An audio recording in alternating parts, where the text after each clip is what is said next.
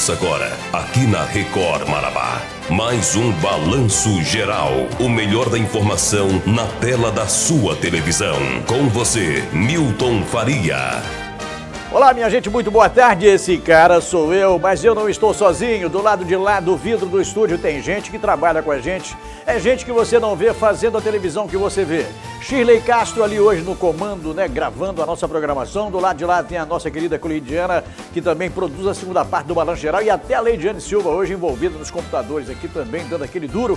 Porque o que tem de notícia agora dentro do Balanço Geral não é brincadeira não. E tudo que você vê por aí, você vai ver depois que você vir aqui no nosso Balanço Geral da Record, o nosso Balanço Geral Marabá. Vivendo com você as emoções dessa segunda-feira, dia 28 de abril de 2014. Uma boa semana para você.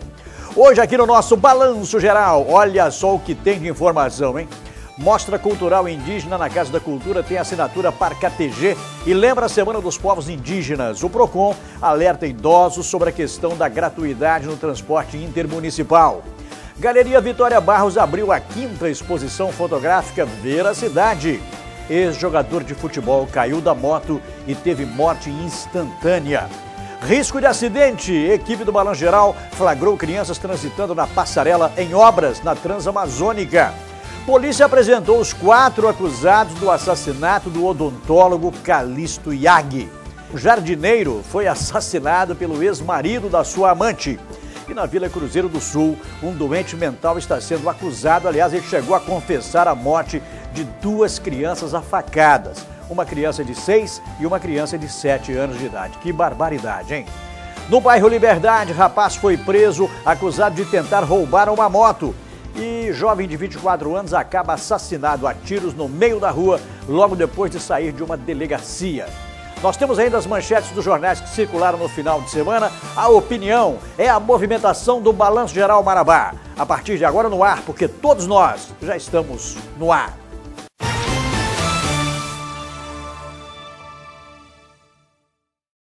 E vamos ao nosso balanço geral, edição dessa segunda-feira. Bom almoço aí para você. Muito obrigado a todos aqueles que nos ajudam a produzir o nosso balanço geral Marabá aqui na tela do canal 50 TV Record do Sistema Fox de Comunicação. Estúdios localizados aqui na Folha 17, quadra 27, lote 17. E eu lembro a você que logo depois do balanço geral Marabá, com as informações de Marabá e do sul do Pará, você vai ter também as informações de todo o estado do Pará na Record Belém, produzindo o Balanço Geral para todo o estado do Pará. É informação que não para de chegar na telinha da sua televisão, aliás, o melhor da informação. Bom almoço aí para você.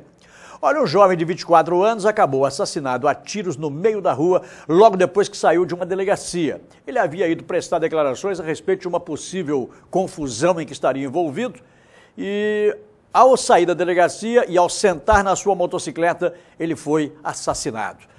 Detalhes agora aqui no Balanço Geral, abrindo infelizmente com má notícia o Balanço Geral desta segunda-feira. Wesley James Gomes de Lima, de 24 anos, foi assassinado a tiros no meio da rua, em cima da própria moto, no início da manhã de domingo, por volta das 6 da manhã na Folha 28. A polícia ainda não sabe os motivos do crime, mas, de acordo com o delegado Glenn Duarte, meia hora antes do assassinato, a vítima, juntamente com um amigo, haviam sido apresentados pela PM na delegacia por envolvimento numa briga em uma casa de festa na Folha 5. Mas quando chegaram aqui, verificou-se que não caberia nenhum procedimento, né? E os dois foram liberados, o senhor de Wesley e o senhor, salvo engano, de Dione, né? E saíram exatamente daqui da delegacia às 5 horas da manhã. E quando foi 5 e meia, nós tivemos a notícia que ele havia sido assassinado na Folha 28, aqui na bifurcação que vai ali para a Folha 20. Populares que preferiram preservar a identidade disseram que Wesley também teria tido um desentendimento com um policial militar, informação que não chegou para a Polícia Civil. Não, essa informação não chegou até nós, né? É, chegou somente que havia tido uma grande uma, uma confusão lá na, na, na Cupo Night, e aí eles vieram para cá, mas ter tido uma, uma, um entrevero, uma confusão com o policial militar ou um policial qualquer específico, essa informação não nos chegou a gente. Mas isso vai ser apurado com, com, com bastante rigor. A linha de investigação, então, vai ser essa confusão do Campo Night, a primeiramente? À primeira vista, à primeira vista né, tudo leva a crer que a, a situação do homicídio dele derivou né, desta, desta confusão, desta briga lá no Night. Assim que a notícia da morte de Wesley se espalhou, já havia muitas mensagens na página dele numa rede social. Muita delas ressaltava a violência. Wesley era funcionário de uma construtora e era tido como uma pessoa que gostava de diversão. É, mas a violência não ficou só nisso aí não. Eu tenho mais para contar para você daqui a pouquinho. Foi realmente um final de semana complicado. Aqui no jornal Correio do Tocantins, que circulou no final de semana, a principal manchete: idoso executado na porta de casa, na Velha Marabá. Ele era ex-presidiário. Você viu a notícia sexta-feira passada aqui no Balanço Geral. Esse jornal circulou no final de semana, o Correio do Tocantins. A primeira edição da semana sai amanhã, terça-feira. Obrigado aí ao Chamon, obrigado ao Patrick. No jornal Opinião, que circula também no final de semana, ou circulou no final de semana, a principal manchete: solidariedade salva uma vida. Um caminhão atropelou um motociclista, arrastou motociclista e moto durante 10 metros e as pessoas se juntaram para levantar o caminhão para tirar o motociclista e a moto debaixo do caminhão. O motociclista saiu de lá em estado de choque. Agora a gente se pergunta aqui: que velocidade vinha esse caminhão para arrastar uma moto durante 10 metros com o motociclista em cima? Esse é o Jornal Opinião que circulou no final de semana. Amanhã sai a primeira edição da semana. Obrigado a todos os jornais que chegam no dia a dia do nosso balanço geral aqui na bancada do programa. No bairro Liberdade, rapaz foi preso, acusado de tentar roubar uma moto. 5 horas da manhã, o cara chapado, mas a vizinhança desconfiou das atitudes dele, chamou a polícia militar e ele foi apresentado completamente chapado na delegacia. Na tela do balanço agora. O acusado é Ale Cariel Barbosa da Silva, de 18 anos. De acordo com a PM, ele foi flagrado tentando roubar esta moto na Avenida Antônio Vilhena por volta das 5 e meia da manhã. A polícia foi avisada por telefonema de pessoas que desconfiaram da ação suspeita do rapaz. Esses dias para trás já teria roubado uma outra moto aqui de um estabelecimento comercial e o pessoal recuperou, mas hoje hoje a gente pegou ele no descuido aí, foi denunciado que ele estaria empurrando uma moto, né? E como foi reconhecido pelas vítimas anterior, foi feita a denúncia e a gente foi e fez a captura do mesmo. Na delegacia, aparentemente embriagado, Ali não quis falar com a imprensa, mas negou ser quanto mais na prática. O delegado de plantão enquadrou o acusado nos artigos da lei. Ele já foi autuado em flagrante por tentativa de furto, né? E vai ser arbitrado a fiança por ser um crime de pouco potencial é, ofensivo, está sendo arbitrada a fiança e vai ser comunicado ao juiz todas essas, essas situações. Além desse caso, o delegado também falou sobre uma tentativa de homicídio no bairro Liberdade. Um comerciante teria disparado contra um amigo de bar e fugiu. E tivemos também, né, à noite, já por volta de uma hora e pouco da manhã, uma tentativa de homicídio aqui na, na Antônio Vilhena, numa, num bar que fica atrás do posto de Piranga, aqui na Antônio Vilhena. E então o cidadão Antônio Gomes estava brincando bilharito com o senhor de, chamado de Ventinha, conhecido na, lá porque ter uma relojoaria na Paraíso. E aí discutiram, Ventinha saiu e depois retornou. Retornou e deu três tiros no Antônio Gomes. Acertou no abdômen e no tórax. Tá o negócio, né? Não aprendem, acham que ninguém está vendo, né? Mas alguém viu. Olha, eu quero apresentar a você a nova L200 Triton 2014. Você está vendo os comerciais nacionais, os comerciais nas telas das televisões regionais. Esse é o 4x4 com força e resistência de verdade. L200 Triton, a picape para o seu estilo de vida, seja ele qual seja, né? Você paga hoje lá na RR Importes do Grupo Zugatelli R$ 79.990 por essa máquina. Mais de 240 mil unidades vendidas em todo o território nacional. Aqui na região não é brincadeira, é liderança de vendas total para Mitsubishi. 35 anos de história dessa picape, hein? E tem muitos deles que têm essa picape ainda zero quilômetro, ainda uh, rodando com estado de zero quilômetro, ainda as primeiras que foram lançadas, né? Para para pensar nessa qualidade aí. Você liga 2101 1251, marca o seu test drive e fecha um bom negócio com certeza absoluta, né? Olha, domingo que vem tem Carajás da Sorte. Esse domingo que foi ontem, o ganhador é lá do bairro Bom Planalto. Mas domingo que vem Pode ser você. Jennifer, Carajás da Sorte, realiza sonhos com todo mundo, não é verdade? Inovação, tecnologia e conforto. O que te espera no Carajás da Sorte desse domingo. No quarto prêmio tem um Mitsubishi ASX 0 km no valor de 85 mil reais. Esse é o carro que muita gente gostaria de ter na garagem. E para acompanhar, tem dinheiro no primeiro, segundo e terceiro prêmios. E nos giros da sorte. Carajás da Sorte, realize os seus sonhos. Obrigado, minha cara Jennifer. Olha, lembrando a você, meu companheiro, minha companheira, sempre um representante do Carajás da Sorte pertinho da sua casa. E a sorte é de quem acredita nela. Você joga 10, 15, 20, 30, 50 vezes e não acerta, mas um dia a sorte bafeja você e você tira o pé da jaca, porque sorte tem quem acredita nela, né? Olha, chegou em Marabá agora uma super novidade para você, que você vai ver agora aqui na tela do Balanço Geral. Só aves na tela? Já encontra-se nas melhores lojas pets e mercados de Marabá os alimentos Big Pet. Mix Tucão, Mix Tuquete e Chicão. Uma linha completa. Alimento premium rico em proteínas e ideal para filhotes ou adultos. Vá hoje mesmo nas melhores lojas e adquira o seu produto de qualidade, melhor rendimento e um ótimo preço. Todos esses produtos que vão fazer a alegria do seu bichinho de estimação, você vai comprar nas melhores lojas pet da cidade e da região. O Só Aves está presente no seu dia a dia e no dia a dia do seu animalzinho de estimação. Só Aves, guarde bem esse nome para levar ração de qualidade para sua casa.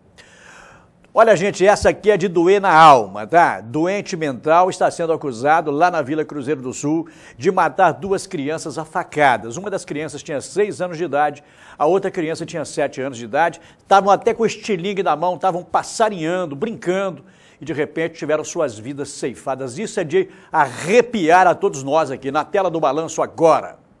Delegado, como é que foi a prisão do acusado Sandro Alves da Silva e como é que foi a situação lá na Vila Cupu? É assim que a Polícia Civil tomou conhecimento aqui em Marabá do achado dos dois corpos das crianças lá na Vila Cupu, é, foi determinado que, que, se montasse uma equipe e deslocasse para lá, o mais breve possível. Desse modo, foi acionado também a equipe do GRAESP, que é a equipe aérea da Secretaria de Segurança, e eu, juntamente com o investigador Nelson, nos deslocamos até a vila. Chegando lá, confirmamos a veracidade, os corpos estavam lá. Então, desse modo, passamos a diligenciar no sentido de identificar o autor do crime e prendê-lo. Então passamos a investigar e a ouvir praticamente quase toda a população da vila.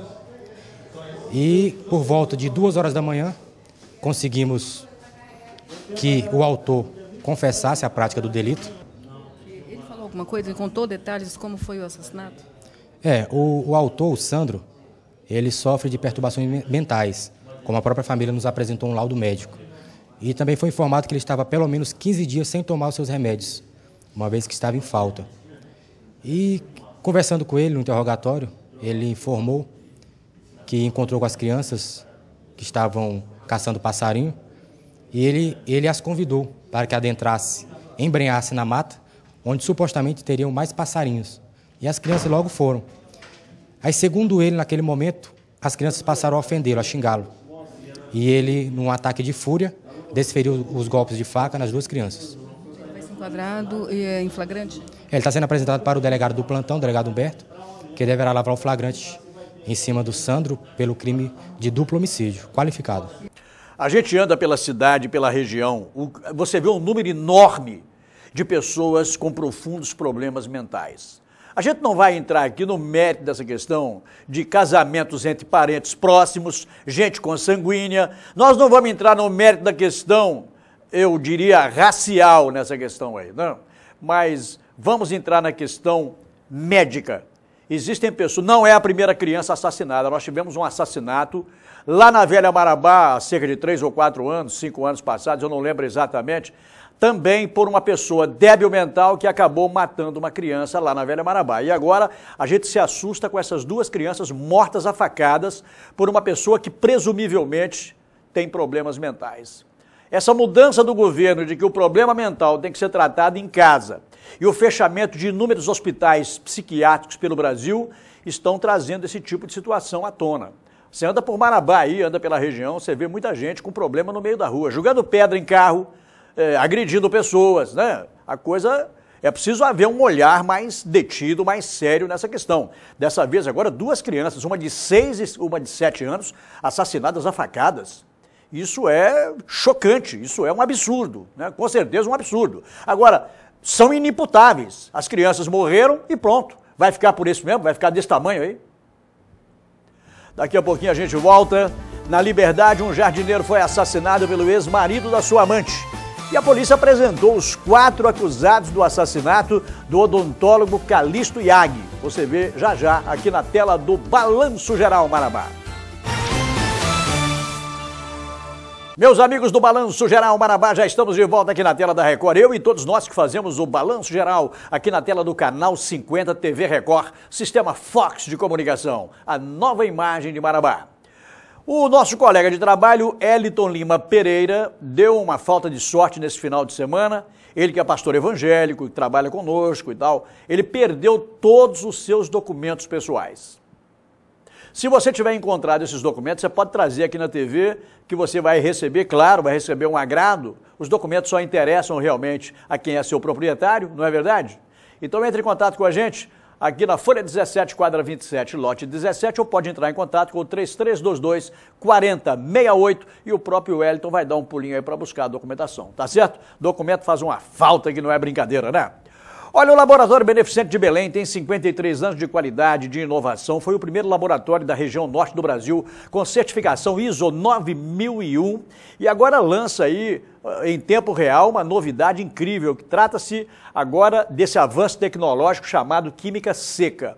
Quando há exames dentro de laboratório, geralmente tem contato com algum líquido, né? Isso pode comprometer a qualidade do exame. Nesses exames são feitos agora através da química seca, você tem uma isenção absoluta de qualquer contaminação e o resultado é absolutamente correto e em tempo recorde, é um tempo rápido aí para entregar a você esse resultado. Laboratório Beneficente de Belém, aqui em Marabá, ele funciona na Clínica Potiguar, na Folha 32, quadro 3, lote 9. O endereçamento está na tela, o telefone também é o 3324 1557. E eu falei com você, não é de outro laboratório, não. Eu falei com você do Laboratório Beneficente de Belém. Não esquecendo que trabalhamos também em nome da Oiamota Ferro e Aço, mercado da construção civil em Marabá. Dispõe da Oiamota Ferro e Aço, onde você vai encontrar tudo em ferro e aço para sua construção ou reforma. É a maior empresa, uma das maiores do Brasil, a maior da região nesse ramo de negócio, oferecendo inclusive o corte e dobra de chapas, que é alguma coisa bastante rara na região, né? Oi, a Mota Ferro e Aço, endereçamento na tela, fica em frente à entrada da Associação Atlética Banco do Brasil, na Nova Marabá. Eu disse, Oi, a Mota Ferro e Aço, o shopping do construtor. No bairro Liberdade, um jardineiro foi assassinado pelo ex-marido de sua amante. Olha, esse negócio do cidadão ter mais que uma, isso costuma dar, né? Costuma acabar em tragédia. Veja aí. O jardineiro Elisvaldo Pereira Gonçalves, de 34 anos, foi assassinado por volta das 10h30 da noite de domingo, a golpes de faca, no bairro da Liberdade.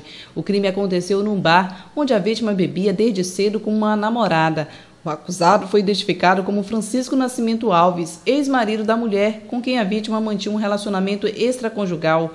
O acusado foi preso. De acordo com os irmãos do jardineiro, ele era casado e tinha cinco filhos. A família ficou sabendo do acontecido por telefone. Uma outra amante dele ligou para nós que ele tinha esfaqueado meu irmão todinho, lá na Liberdade, na 31 de março.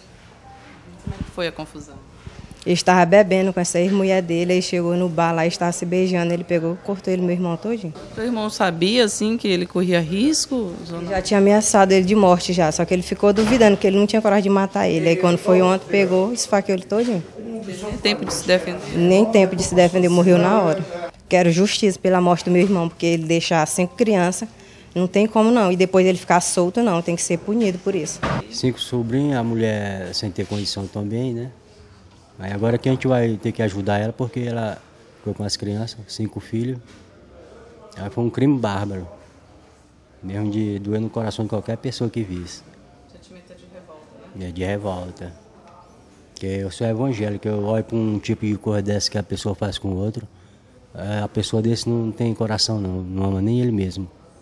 Porque mesmo que a pessoa esteja tendo caso com a mulher, um amante, que não era mais mulher dele, se foi separado, ele não tinha nada a ver, né? Fazer um crime bárbaro daquele. Foi triste, eu nunca nem precisava ver meu irmão naquela situação. Filho mesmo. É só isso que eu espero, é só a justiça mesmo. A de Deus é, é mais verdadeira, né?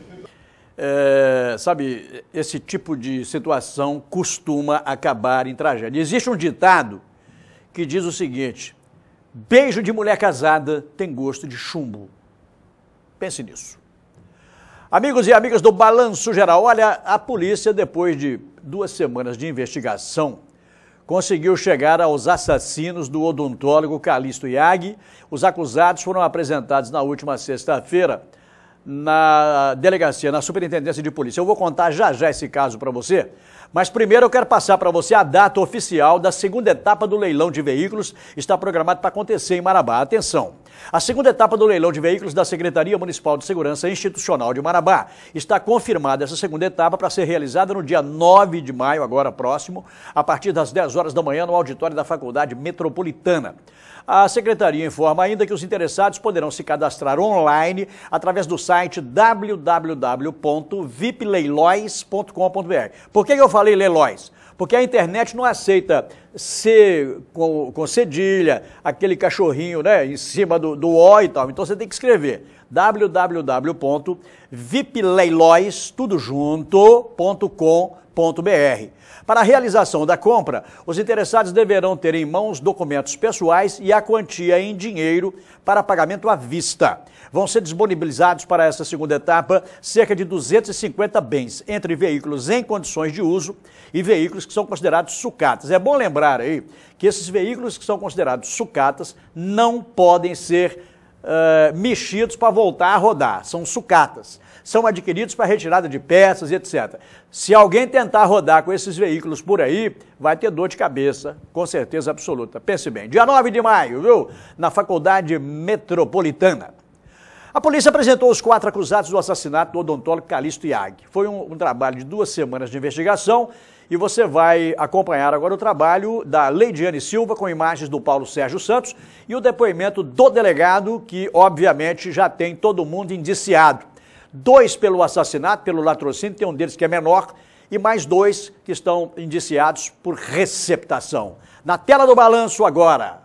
A polícia apresentou quatro pessoas acusadas de envolvimento na morte do odontólogo Calixto José Iag, de 66 anos.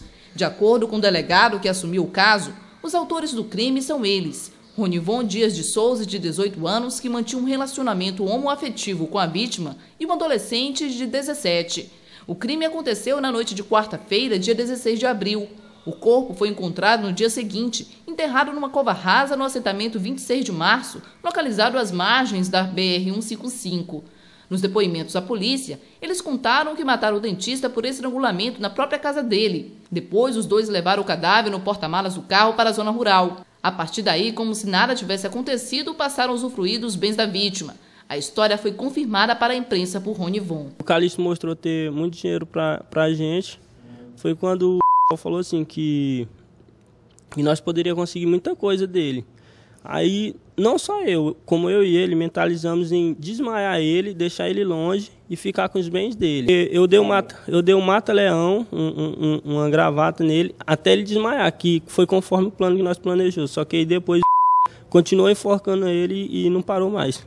A polícia encontrou com os acusados os objetos pessoais da vítima, as roupas usadas no crime e os suplementos alimentares comprados com o cartão do dentista numa farmácia da cidade. O carro também foi recuperado, estava escondido próximo a uma aldeia indígena em Bom Jesus do Tocantins. Foram quase duas semanas de investigações até a prisão de Rony Von e a apreensão do adolescente. A polícia chegou aos acusados depois de ouvir a primeira pessoa tira como suspeita do crime. Mas foi o depoimento de uma testemunha que ajudou a polícia a identificar os verdadeiros autores do crime. Uma testemunha compareceu e reconheceu uma outra pessoa na cena do crime, em frente à residência da vítima. E passamos então a trabalhar em cima dessa pessoa que foi identificada. Descobrimos que essa pessoa, juntamente com outra, que na verdade era o adolescente de 17 anos, e o maior, o Ronivon, eles fizeram uma compra numa rede de farmácias aqui na cidade utilizando o cartão da vítima, o cartão de crédito da vítima. Lá conseguimos imagens, conseguimos o extrato de compra dos dois rapazes e trabalhamos na identificação deles. Conseguimos identificá-los, localizá-los. Foi representado pela prisão preventiva do Ronivon e pela busca e apreensão do adolescente. Tudo foi decretado pela juíza. As investigações levaram a polícia também ao técnico em meio ambiente, Neemias Lopes da Silva, de 27 anos, vizinho do adolescente. Ele foi flagrado com uma folha de cheque e cartões de crédito de Calixto. Ele falou que era do tio dele. Só vem saber já na terça-feira, quando saiu noticiário, que eu vi o nome aí coincidiu com a folha de cheque. O quarto envolvido é o cadeirante Valdiones Francisco da Silva, de 41 anos. A participação de Johnny teria sido na comercialização do veículo. Ele nega. E eu sem saber de nada, né? E, e aí eu não aceitei a compra desse carro por motivo de dinheiro também, né? Então, o que que acontece? Eu peguei e refuguei a história desse carro, entendendo? Aí, quando deu no sábado, eu assisti no jornal e aí a pessoa que levou ele lá em casa, quando foi preso agora, aí pegou e levou a polícia lá em casa, disse que esse carro já tinha andado lá em casa realmente. O que eles nos repassaram é que o Johnny já trabalha com corretagem e venda de veículos, então eles repassaram o veículo para que o Johnny fizesse a revenda. Foi feita uma revenda e depois foi desfeita. Assim que caiu na imprensa a notícia que o veículo era roubado. Então decidiram desfazer o negócio, foi desfeito o negócio. E desse modo Neemias, juntamente com o um adolescente, esconderam o veículo na zona rural aqui da cidade. Daquele modo de esperar a poeira baixar. Assim que esfriasse tudo, as notícias da poeira baixasse, novamente tentariam revender o veículo. Uma vez que eles estavam tentando de 10 a 20 mil reais é, para receber em troca desse veículo. Ronivon e o adolescente foram autuados por latrocínio, roubo seguido de morte. Neemias e Johnny por receptação.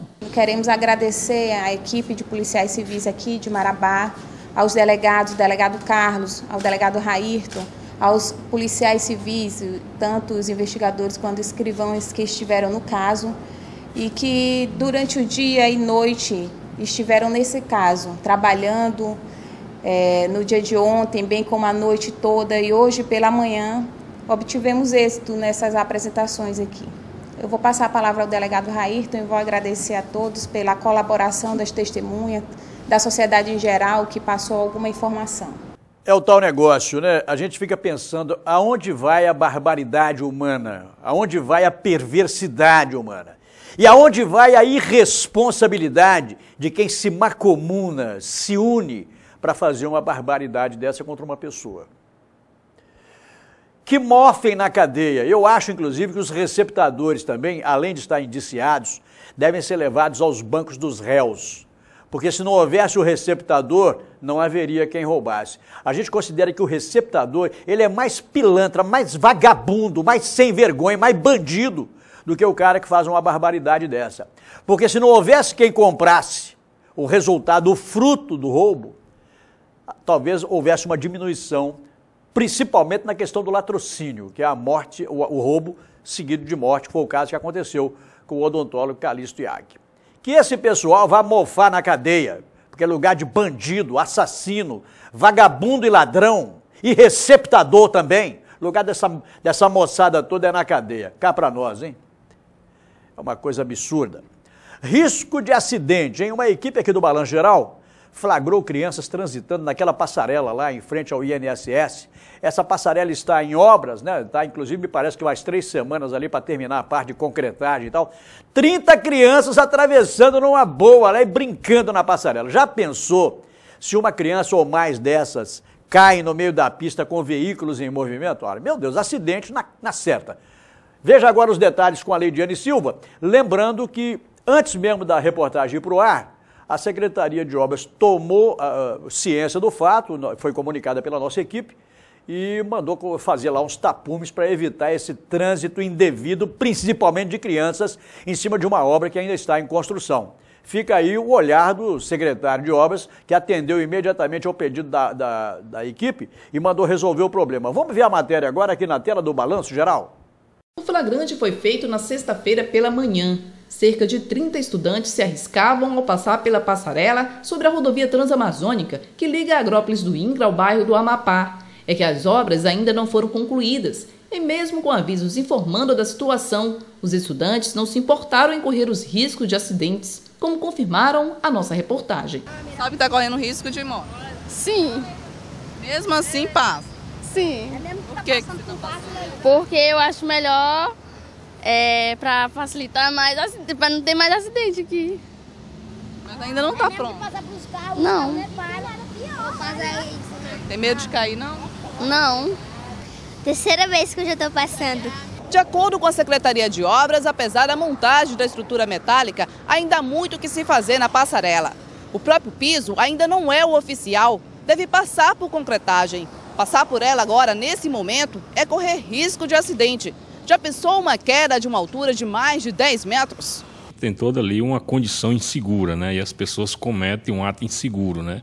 Todos sabemos dos riscos que ali tem, nós já botamos é, é, sinalização, orientação, já botamos. E, e as pessoas insistem é, em ficar ultrapassando ali, que ainda não é o momento. Né? Antes mesmo de a reportagem ir ao ar, a Secretaria havia começado a tomar precauções de segurança, colocando tapumes. Vai conviver durante toda a obra, de forma que vamos liberar os tapumes só após a conclusão da obra, juntamente com os acessos. Né? De acordo com Pádua, a previsão é de que as obras sejam concluídas em até três semanas. Acredito que umas três semanas a gente conclui a concretada, a pintada, aí a gente inicia a conclusão dos acessos. Ainda não é a conclusão da, da passarela propriamente dita. Vamos concluir a passarela, mas tem ainda um conjunto de acesso para eliminar faixas ali, para direcionar que as pessoas realmente usem a passarela como condição segura para aquela ultrapassagem ali. Você sabe que menino é menino, né? Menino, menino tem juízo de galinha na horta, não é verdade? Galinha na horta come a couve, come o repolho, sai por ali. E menino faz as coisas por fazer. Meninos e meninas, meninos, tomem juízo, vocês caem daí, podem se machucar. Meu Deus do céu. Meus caros amigos aqui do Balão Geral, nós trabalhamos em nome da Farmácia do Trabalhador do Brasil. Você já sabe que lá você vai encontrar o Elite Mil, vai ter uma nova qualidade de vida. Elite Mil não é medicamento, é um complemento alimentar que você soma no seu dia a dia, duas cápsulas por dia. Você passa a ter mais disposição, vai levantar com mais vontade de trabalhar, de correr atrás, né? vai ter mais desempenho sexual. Você vai ter uma, uma qualidade de vida melhor controlando os seus triglicerídeos, o seu colesterol. Eu estou falando do Elite Mil, que já é sucesso em todo o Brasil. Você compra com exclusividade na farmácia do trabalhador do Brasil. E não é só isso, não. Descontos chegam a 90%, dependendo do valor da sua compra. Você pode parcelar tudo no cartão, não tem importância a quantidade que você comprou. E mais, comprando três caixas do mesmo medicamento de uso contínuo, aquele receitado periodicamente pelo médico, você vai levar a quarta caixa de presente, não vai pagar mais nada. Eu falei da Farmácia do Trabalhador do Brasil. Gente, nessa logomarca você pode confiar. Olha, lá no shopping tem. E em todos os núcleos de Marabá tem. Sempre perto de você, uma filial da Farmácia do Trabalhador do Brasil. Olha, eu vou voltar daqui a pouquinho e você vai ver aqui que um ex-jogador de futebol caiu da sua motocicleta estava sem capacete, teve morte instantânea. Galeria Vitória Barros abriu a quinta exposição fotográfica Veracidade. Você vê ainda que o PROCON alerta os idosos sobre a questão da gratuidade no transporte intermunicipal. E você vai ver também a Mostra Cultural Indígena na Casa da Cultura, que tem assinatura ParcaTG e lembra a Semana dos Povos Indígenas. Já já, na tela do Balanço Geral. Amigos do Balanço Geral, amigas, os amiguinhos também e as amiguinhas também, né? Deixar um abraço para a criançada. De vez em quando a gente encontra uma criançada na rua. Olha, eu tô vendo o senhor lá na televisão. Eu também tô vendo vocês daqui. Meninada, aquele abraço, hein? Valeu pelo carinho da agradável audiência e da bela companhia, com certeza. Nós trabalhamos em nome da Revemar Motocenter e em nome da Revemar Automóveis, são empresas do Grupo Revemar que apoiam a programação da Record. Muito obrigado a Carilene, meu amigo Gilberto, grande Winston Diamantino. Deixar um abraço aqui na Revemar Motocenter para o Rogério Giardini, para o Félix, grande Félix Espartacus, seja, você já viu um nome igual esse? Félix Espartacus, né? Tem um nome bonito, rapaz, é uma figura educada, sensacional. Deixar um abraço também para a Aline, deixar um abraço a todos os meus amigos lá no pós-venda e não esquecendo do Adriano, não esquecendo aí do Abner, que é mecânico, essa galera toda da Revemar Motocenter. Revemar Motocenter e Revemar Automóveis são empresas do grupo Revemar que apoiam a programação da nossa Record. Olha, um ex-jogador de futebol, ele estava andando de moto, precisou dar uma saída, saiu sem o capacete, foi desviar de um buraco, escorregou da moto, caiu e teve morte instantânea depois de quebrar o pescoço. A família até agora não consegue entender o que aconteceu, porque o acidente é o acidente. Quando há uma, uma perda de um ente querido por acidente, a dor é bastante maior. A pessoa sai para fazer alguma coisa e não volta mais. Na tela do balanço agora. O acidente aconteceu por volta das 6 da manhã na Avenida Paraíso. O ex-jogador de futebol, Valber Freitas Moção, de 34 anos, foi a vítima fatal. Segundo testemunhas, ele morreu ao cair da moto que pilotava quando tentou desviar de outra motocicleta em que três pessoas trafegavam. Valber não usava capacete e bateu a cabeça no meio-fio. O IML constatou que a vítima estava com o pescoço quebrado. Valber Freitas Monção atualmente trabalhava como vigilante, mas também fazia bicos como mototaxista durante a noite para aumentar a renda familiar. Ele era irmão de profissionais de televisão em Marabá. Era casado e tinha um casal de filhos. Nesse mural montado na sala da casa de mãe de Valber, as fotografias mostravam o quanto o ex-jogador amava a família e gostava de diversão. O corpo foi velado na casa da mãe dele, na Cidade Nova, e ficou de ser sepultado nesta segunda-feira, no cemitério da Saudade, na Folha 29. Quando a gente perde um ente querido por acidente, alguma coisa que a gente não esquece nunca, eu tive essa situação na família, dois irmãos né, que eu perdi, um de acidente de moto e o outro de acidente de caminhão. E a gente, quando vê uma situação dessa, imediatamente a gente lembra, porque foram pessoas que saíram para fazer alguma coisa e não voltaram. Ficou um vazio, ficou um buraco na emoção, na saudade e no amor que a gente sente pela pessoa. A família Lutado, que inclusive tem a ver com gente de televisão, porque ele é irmão de um cinegrafista que trabalha na TV Livre. A família Lutado, os nossos votos, de toda a equipe aqui do programa, os nossos votos de profundo pesar. Gente que a gente ama não morre, continua viva na, na saudade e no coração da gente, não é verdade? Ô João, um abraço aí para você, querido. Sinto muito pela perda. Vamos ver agora que a Galeria Vitória Barros abriu a quinta exposição fotográfica Veracidade. Gessélia Sobreira, conta pra gente. As imagens são do Paulo Sérgio Santos. Com propostas ousadas, diferentes é assim que a Galeria de Artes Vitória Barros abre as portas para a quinta mostra fotográfica Ver a Cidade.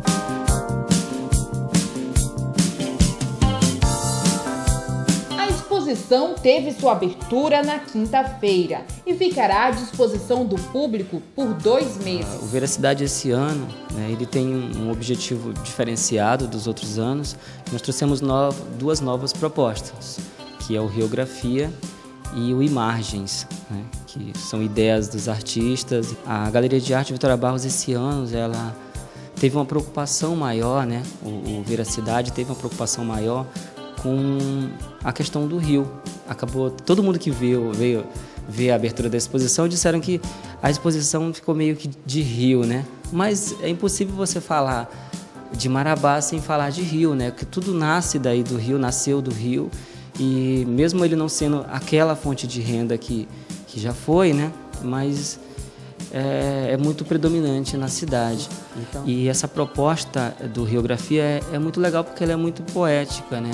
Ela fala de uma são fotografias e casos que acontecem meio que na, na beira do rio, na margem do rio. Né? A nossa cidade ela tem essa beleza, né?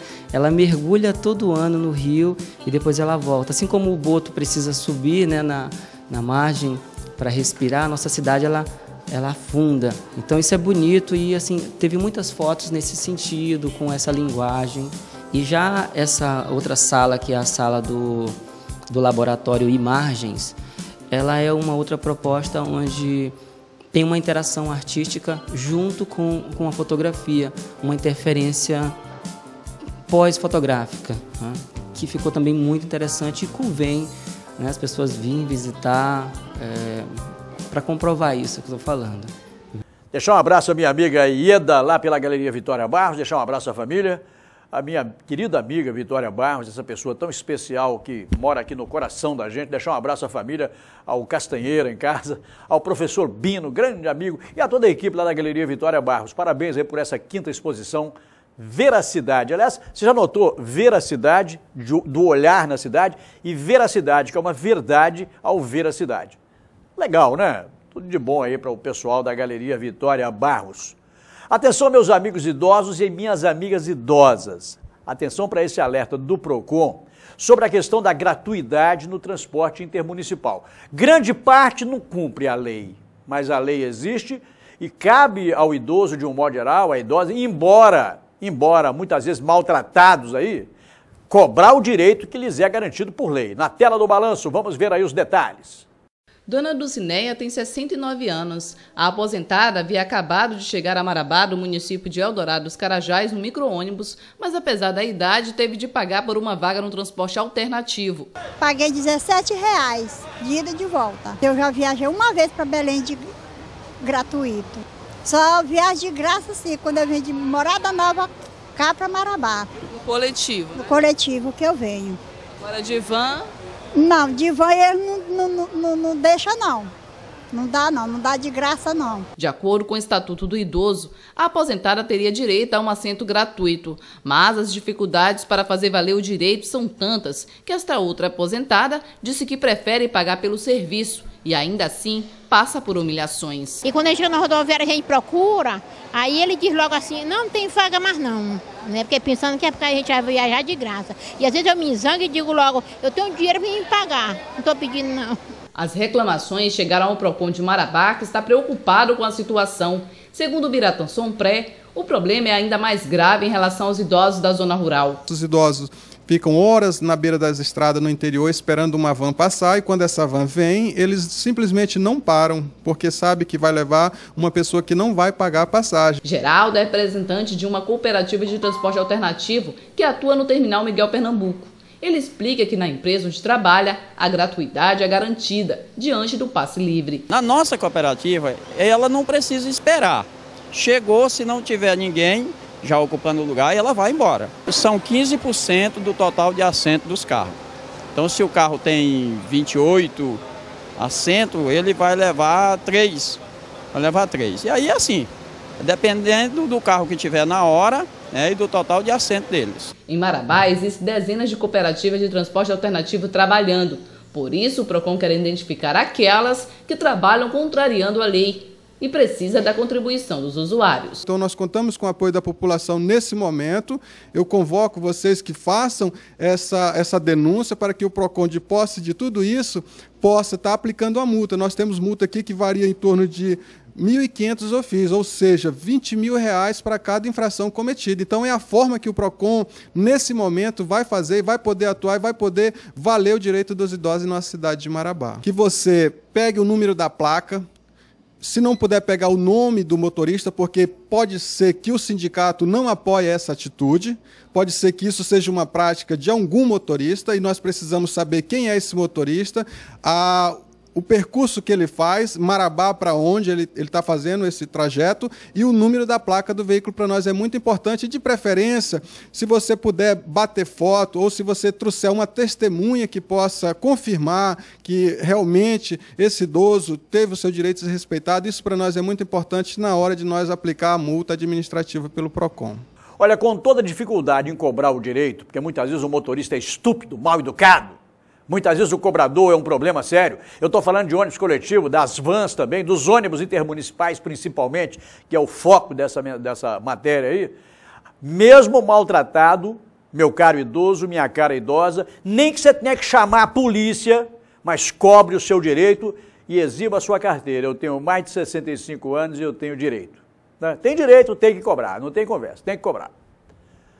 Mostra Cultural Indígena na Casa de Cultura tem assinatura para KTG e lembra a Semana dos Povos Indígenas. Olha que matéria bonita está fechando o nosso programa de hoje. A Mostra Cultural está aberta desde a sexta-feira no Salão de Exposições da Casa da Cultura e faz referência à Semana dos Povos Indígenas. No evento é possível conhecer um pouco mais da cultura dos índios da região, que ao longo dos tempos vem sofrendo influências culturais de outras raças.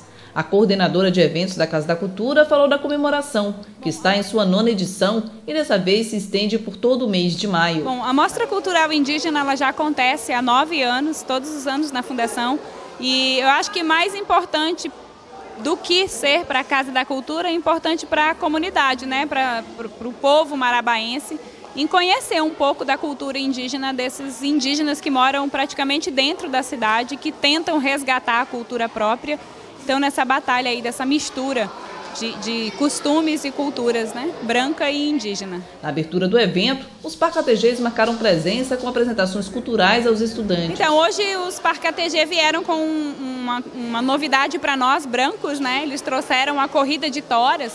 Então, eles fizeram uma pequena representação de como é a corrida de toras lá dentro da aldeia. A gente interditou a rua aqui em frente e eles mostraram um pouquinho para a gente de como é essa corrida de toras e logo depois a, as danças deles. Né? Cateia também ressaltou a importância desse momento em que os índios repassam informações para os brancos. Pois é, acho que a importância é desse nosso contato, né, nossa entre a comunidade indígena e a cidade aqui. É muito importante nós ter esse convívio para nós estar laçando assim um conhecimento de índio, de branco. Hoje com, um mundo assim muito desenvolvido na tecnologia, estão acabando de esquecer o pós-indígena, porque a gente está caminhando ainda nessa, nessa dificuldade, nesse, nesse progresso que aqui fora tem. Mas nós estamos nesse contato junto com a Casa Cultura, uma casa também que sempre abriu porta para nós. Nós estamos agradecidos por isso e hoje para nós o mês de abril é o mês, de, mês indígena, mas para nós não tem isso. Todo dia é o nosso dia. Tudo que você acabou de ver aqui na tela do Balan Geral é fruto do trabalho do nosso cinegrafista Paulo Sérgio Santos, das nossas repórteres Gessélia Sobreira e Leidiane Silva, e claro, do trabalho da produção, na pessoa da nossa querida Mulher Sorriso, né? a nossa querida Shirley Castro, e também o trabalho da competente Cleidiane e, claro, do Wellington Lima por aqui também. Então, e você vai ver tudo isso depois nos, nos demais noticiários por aí. Primeiro você vê aqui, com certeza, né? Minha gente, muito obrigado pelo carinho da audiência, que as coisas boas te aconteçam nessa semana. Você vai ficar agora com ele, Renê Marcelo e a equipe do Balanço Geral, direto de Belém do Pará para sua televisão com o melhor da informação. E amanhã, se Deus quiser e com certeza, todos nós estaremos por aqui para levar até você, como sempre, o melhor da informação em mais um Balanço Geral Marabá. Uma boa tarde a todos e até amanhã, minha gente. Obrigado.